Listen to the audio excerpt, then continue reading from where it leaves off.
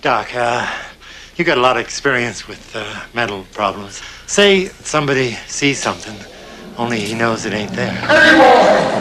You mean a visual hallucination? I'm saying that he sees something that looks real,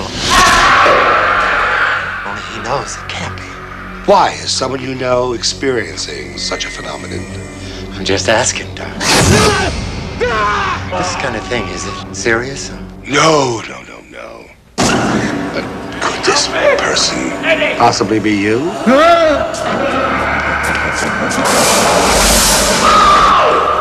They put the rats in the mazes, and then they zap them with electricity till they're totally messed up in their heads. He came to look at the wiring, and um, Oh, God. what is it? It's hideous. What is it? The chair. Have you seen it? If there is a ghost here, changes everything, doesn't it?